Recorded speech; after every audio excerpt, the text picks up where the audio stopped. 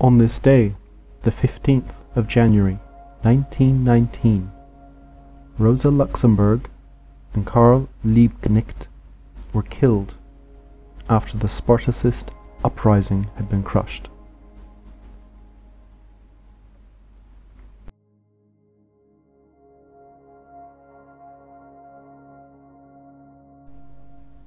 The Spartacist uprising, a very romantic sort of name, was in fact more of a general strike, a protest, in Berlin between the 5th and the 12th of January.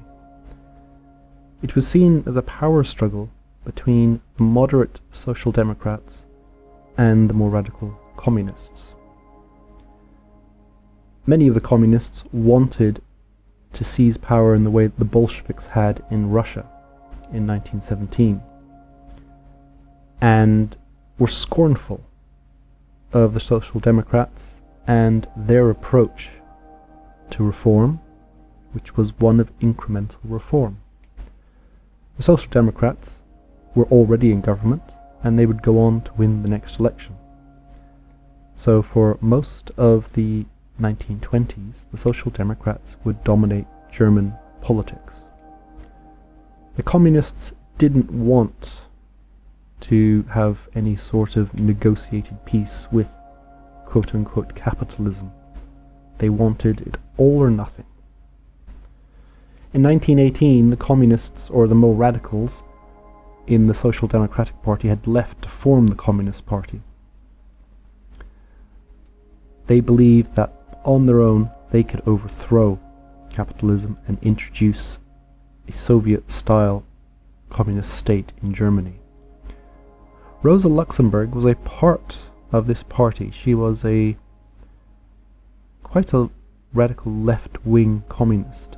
However, she didn't want to go the Soviet route. She believed they needed the support of the vast majority of the people before they could introduce a Soviet style system or a communist government into Germany. She was arguing for standing in and winning elections. But they ignored her and she was overruled. At the end of 1918, the chief of police in Berlin was replaced as he had refused to act against demonstrating workers during the Christmas crisis at the end of 1918. This would lead to massive protests because they were in favour of someone who wasn't going to come out and shoot them. And many hundreds of thousands of people came out to demonstrate against the sacking of this ch police chief. Liebknecht called for the overthrow of the government. Rosa Luxemburg spoke out against this, and she believed that an uprising right now would be cat would be catastrophic, and it would prove to be catastrophic for her. On the 7th of January, about half a million people were demonstrating in the streets of Berlin. Many of them were armed. Back in the days when pretty much everyone in Europe could be armed. Many key buildings, government ministries, uh, newspaper buildings were seized by some of these people, the more radicals, and they started demanding uh, a revolution. Ebert, who was the chancellor at the time, a social democrat, didn't want this to be violent, but he knew he couldn't allow these people to continue. And although they did seize the buildings, and although there were half a million people protesting, trains continued to run, papers continued to be printed, people still went to work and shops were still open, so it was it wasn't St. Petersburg 1917.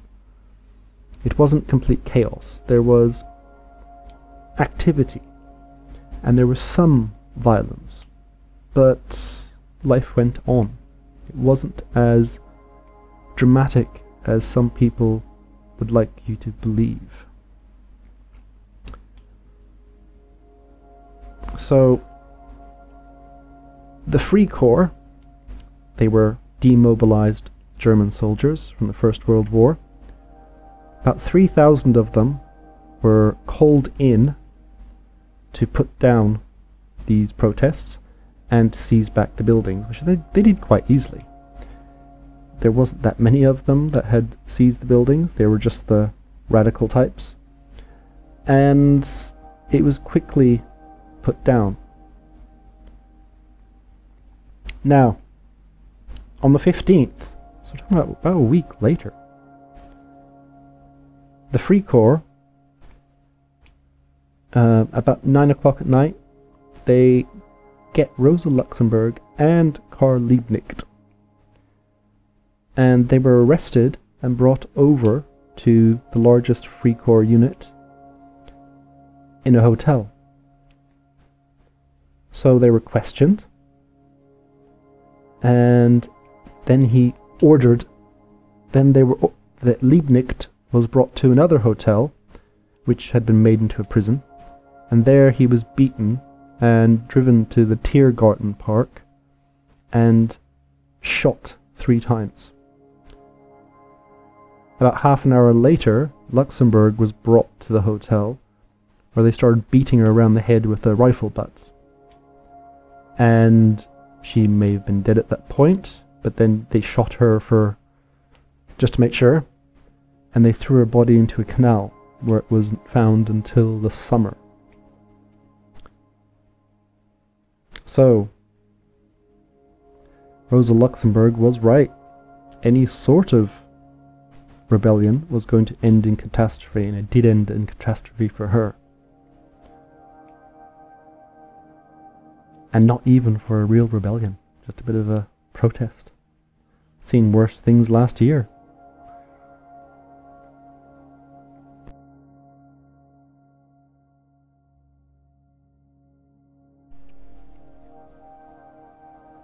The results of the Spartacist uprising were quite simple.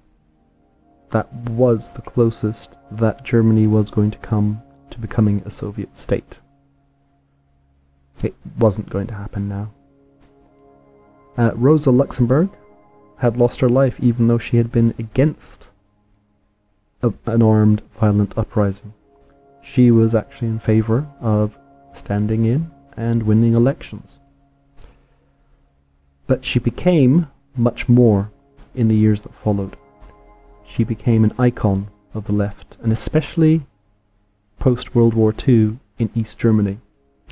They named streets and towns and squares after her, they put statues up to her, and she became a martyr of the left, of the communist left. Even though, probably, she wouldn't have been their cup of tea if she had actually been around. They left, they conveniently left out the parts where she criticized Lenin and Leninism and the Soviet uh, system. They conveniently left out that she didn't want a violent overthrow of the government, that she wanted to stand in elections. But on this day, 15th of January 1919, Rosa Luxemburg and Karl Liebknecht were arrested, beaten, and killed. If you like these videos, come back for more tomorrow. Subscribe, like, and leave a comment.